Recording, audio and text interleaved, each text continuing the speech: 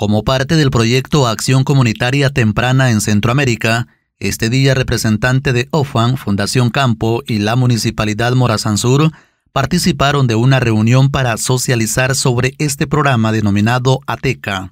Era conocer eh, cuáles eran todas las actividades, ¿verdad? Eh, digamos, con el señor alcalde, ¿verdad? Socializar todo el proyecto, ya que lo teníamos socializado solo a manera de, de distrito, ¿verdad? Entonces querían para que todos nos involucremos, ¿verdad? En el proceso y que de antemano, pues ellos sepan cuáles son las actividades que como, como ATECA, ¿verdad? Como proyecto ATECA, ¿verdad? Donde está involucrado OFAN, Fundación Campos, Fundación Cordes, ¿verdad? Se están realizando en el distrito de San Simón en 10 comunidades. De acuerdo a Ortiz, este proyecto está basado en gestión de riesgo, es decir, en ejecutar acciones tempranas y medios de vida beneficiando a las comunidades de cada distrito.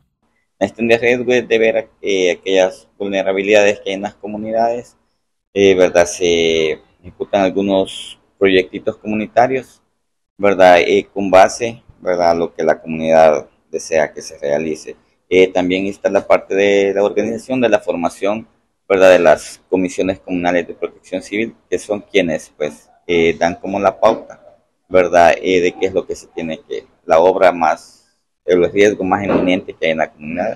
Se dijo que como fundación se realizaron el año pasado cinco proyectos interesantes, los cuales tenían como misión ayudar ya sea con productos y capacitaciones a los beneficiarios estado trabajando con dos estanques de, de tilapia, ¿verdad? Se han dado eh, capacitaciones sobre el sistema de alerta temprana, ¿verdad? Y también Fundación Campos, pues eh, este año ha estado realizando eh, otras obras, proyectos comunitarios como pasarelas, ¿verdad? También se han apoyado en los medios de vida con algunos macrotúneles.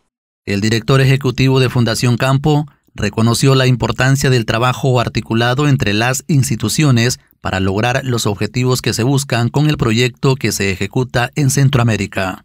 En la cual nosotros con alianza con OFAN y Cordes estamos desarrollando un proyecto de alerta temprana para eh, anticiparnos a los riesgos que pueden haber en los territorios en cuanto a las precipitaciones, temperaturas, inundaciones, para que las poblaciones puedan estar organizadas y tengan la capacidad de responder ante fenómenos, ante situaciones que vulneren pues, la, la, vida o que afecten la vida de las personas en la comunidades rurales.